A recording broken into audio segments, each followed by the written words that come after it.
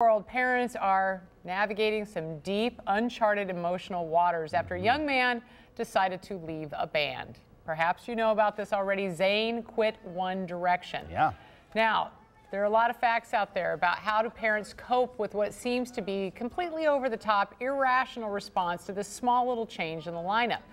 Now, courtesy of uh, Miller, they're saying that you need to encourage your teens to have a good cry. It's okay.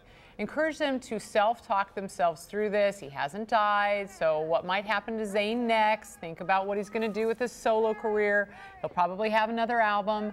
Get them thinking in a more positive frame of mind and get them moving. Sitting in their room on the computer watching other kids cut themselves. Yes, that's mm. true. Some kids have done this. There are reports of that talking about the end of the world. It's not helpful. You know, you have to try to remember where you were back when you were a young teenager and it just didn't seem like you could get a handle sure. on it you got to, as a parent, not tell them, oh, you're being ridiculous. You got to really try to help them spin yeah. it and make it go positive. And that's something that I did because I asked my niece, you know, what was she thinking about she? this? Uh, she is 14, turning 15 this weekend. But, mm -hmm. you know, and I bought her One Direction tickets several years ago for, oh, for uh, Christmas, and I know she's going again uh, this year. But I said, can you sum it up in one word? And basically she couldn't because obviously she's very stressed about this, but disbelief was the one word that she, she zeroed in on. And I can see that because if you look back to when the Beatles kind of disbanded back in the late 60s, mm -hmm. a lot of mm-hmm. people will turn to that time oh, and they yeah. think John Lennon, when John Lennon, you know, he kind of just went away from the band and then it was Paul McCartney officially quitting.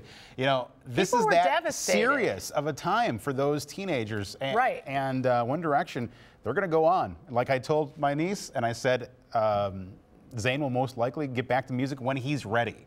Right. And that's that's the right thing. When he's ready to do it, he'll get back, you know? Exactly, exactly. And I um, was talking to my niece today, too. I had texted her, and she said, I don't really listen. She's 13. Yeah. She's like, I don't really listen to One Direction that much anymore, but when I heard about it, I was in shock.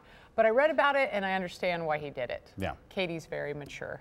Yeah. It was pretty good. and our investigative reporter, Bryan Polcyn, uh, his 13 year old niece, Regan, I mean, excuse me, Reagan, she has her whole room decked out. Check this out. Wow. All decked out, except for a few Five Seconds of Summer. It's another band that might be interspersed in all of these posters. It's a lot of tape. But her parents said that she has nonstop tears for the whole day yesterday. Sure. So I, I know I posted this on my Facebook page, and I had a lot of people saying this is ridiculous. Just tell them to get over it.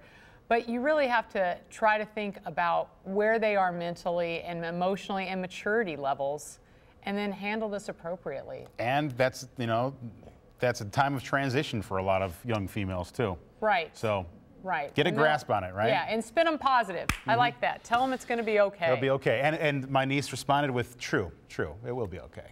So, Yeah, she Good gets job, it already. Yeah. Uncle Bryan. That's right. That's what I'm here for. well, if you're a betting